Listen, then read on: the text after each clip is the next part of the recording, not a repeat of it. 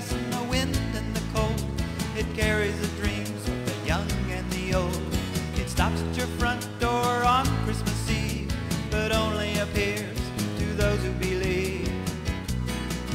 It's a magical Christmas train.